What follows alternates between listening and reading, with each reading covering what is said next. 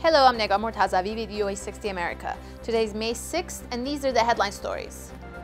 President Obama gave the commencement address to the graduating class of Ohio State University Sunday. In his speech, he urged the graduates to reject cynicism and become active in government, saying America needs more full-time citizens.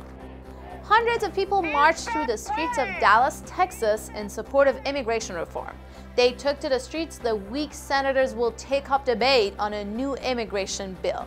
It would, among other reforms, offer eventual citizenship to the estimated 11 million immigrants already living in the country illegally.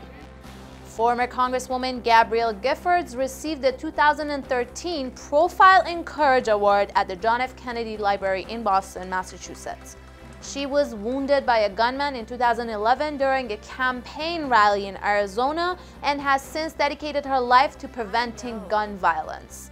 In her acceptance speech, Giffords said, I want to make the world a better place more than ever. That's all for today. Thanks for watching.